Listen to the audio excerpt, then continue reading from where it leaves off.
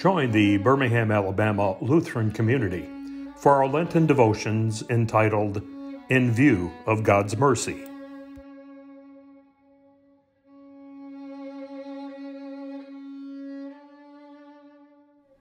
Good morning. My name is Teresa from First Lutheran Church.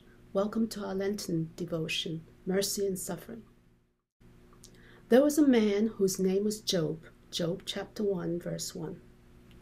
Job, his very name conjures up images of suffering.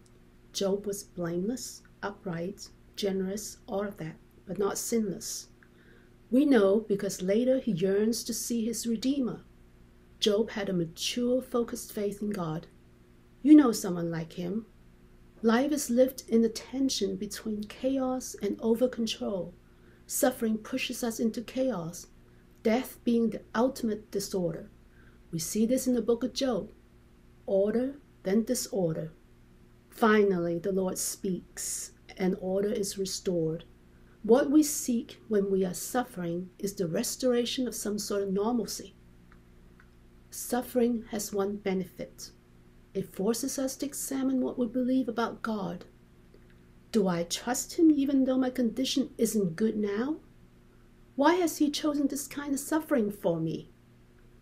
Every time Jesus healed or raised, it was God bringing order out of disorder. It is God's mercy applied by Jesus that restores order to shattered lives, even our own. Let's pray. Jesus, life seems so chaotic. Sometimes, please restore order to my anxious heart. Amen. Join us live at one of our locations for Sunday school and worship, or worship virtually with First Lutheran Church on our Facebook or YouTube channel. You are always welcomed into our family.